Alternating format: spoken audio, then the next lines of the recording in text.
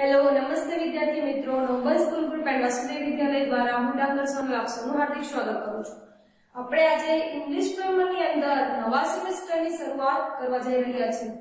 ત્યાં આપણને શેની શરૂઆત થઈ છે? આપણે આગળ તો આ શીખી જ ગયા છીએ. છતાં પણ આપણે અત્યારે કોર્સમાં આવે છે તો આપણે બધા આજે ફરીવાર રિવિઝન કરવાનું છે.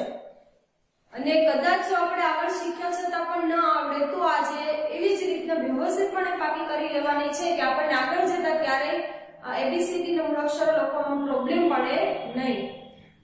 એ બી સી ડી વાંચતા અને લખતા આવડી ગયું ને હવે આપણે અંગ્રેજી શબ્દ વાંચતા શીખવું.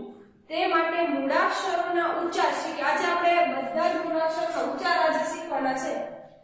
તો આપણને આગળ હવે આપણે આગળ સ્પેલિંગ શીખવાના થશે. તો એના માટે સૌપ્રથમ તો આપણને આ બધા મૂળાક્ષરોના અક્ષરો છે એ આપણને આવડતા હોવા જોઈએ. બહુ જ ફરજિયાત છે. તો આ તમે ફોર લાઈનની બુકની અંદર છે ને એક એક અક્ષરો લખતા જાઓ. યાદ રાખો, પાકા કરો ને પછી જાતે અને અક્ષરો છે એ લખવાનો પ્રયત્ન કરો. પહેલી એબીસીડી નો પછી અહીંયા બીજી એબીસીડી નો એ આપેલો છે. મતલબ કેપિટલ એ અને સ્મોલ એ આપેલો છે. તો એનો મૂળાક્ષર શું થાય? તો કે એ બી નો બ, કેપિટલ બી અને સ્મોલ બી તો અહીંયા આપણને બી નો શું થાય? બ. પછી છે સી સી નો શું થશે? ક. પછી આપેલો છે ડી પહેલી એબીસીડી નો અને બીજી એબીસીડી નો મતલબ કેપિટલ ડી અને સ્મોલ ડી તો ડી નો ડ, પછી ઈ.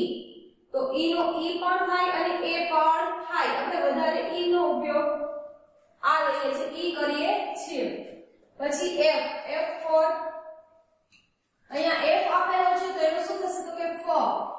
પછી છે જી. જી નો મૂળાક્ષર થશે ગ. પછી છે એચ. એચ તો હ. આઈ. આઈ નો ઈ. જે જેનો જ. પછી છે કે કે નો ક. એલ એલ નો લ. એમ એમ નો મ. એન એન નો. ઓ ઓ નો ઓ. આપણે જે રીતના મૂળાક્ષરો બોલ્યા છે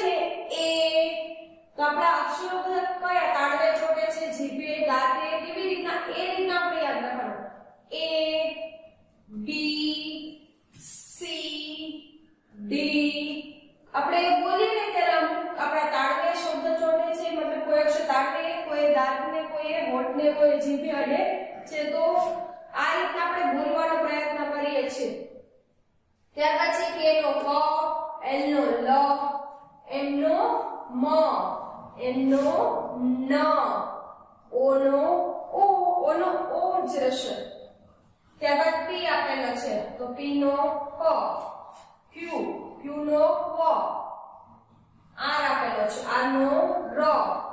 એસ એસ નો સ T નો ટ U નો અ V નો વ W નો વ X નો કસ Y નો ય અને Z નો ઝ.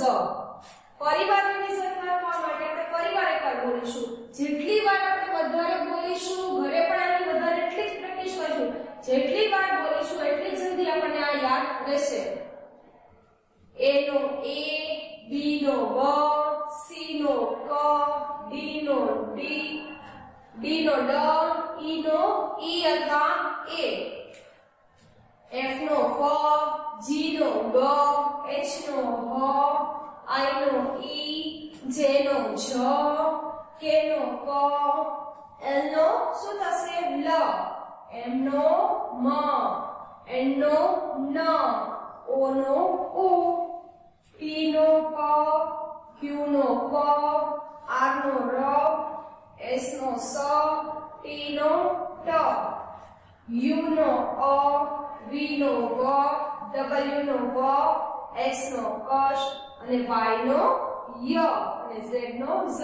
આ રીતના તમારે પણ ઘરે આને એટલી જ વાર બોલતા રહો જેથી તમને સરસ રીતના યાદ રહી જાય અને લખવાની પણ પ્રેક્ટિસ કરો. આપણને આગળ જતા સ્પેલિંગ લખવામાં ખૂબ જ ઉપયોગી થશે જ્યારે આપણે ઇંગ્લિશ વાંચતા શીખીએ, તો આપણને ખબર તો હોવી જોઈએ કે મૂળ અક્ષર શું થાય છે. ઇંગ્લિશમાં આપણને એમ આપેલો તો એમ નું ગુજરાતીમાં શું લખાય? તો કે એનો મ થાય, એ બી આપણને ખબર હોવી જોઈએ.